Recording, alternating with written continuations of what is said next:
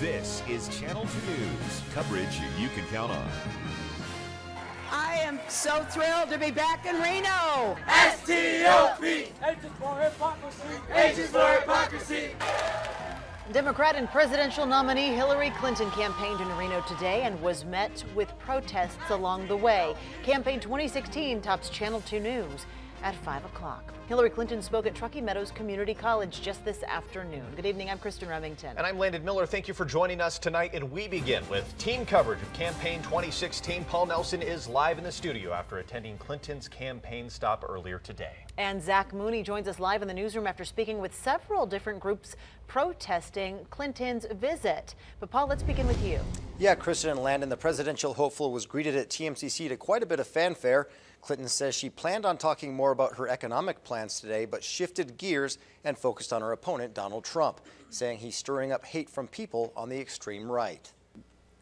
The last thing we need in the Situation Room is a loose cannon. This is someone who retweets white supremacists. By the way, Mexico's not paying for his wall either. It didn't take long for Hillary Clinton to go on the offensive against her Republican opponent, Donald Trump, talking about what's become known as the alt right, which she describes as the paranoid conservative fringe. It's never had the nominee of a major party stoking it, encouraging it, and giving it a national megaphone until now. Clinton briefly talked about the economy, saying she has a plan to cut red tape and taxes for small businesses and entrepreneurs. I want to be a small business president. My father was a small businessman.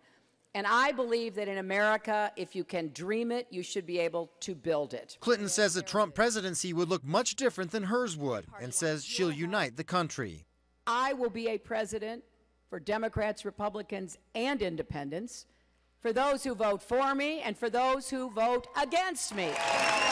Well, Clinton is trying to win over more voters in the Silver State. Many on hand have already decided who they'll cast their ballot for in November. I think she, Hillary, addressed a lot of the issues that should concern all people in the Reno Sparks area. She stands for what I stand for, and that's against bigotry, prejudice, and a, an insane opponent. I think she's done great things for America.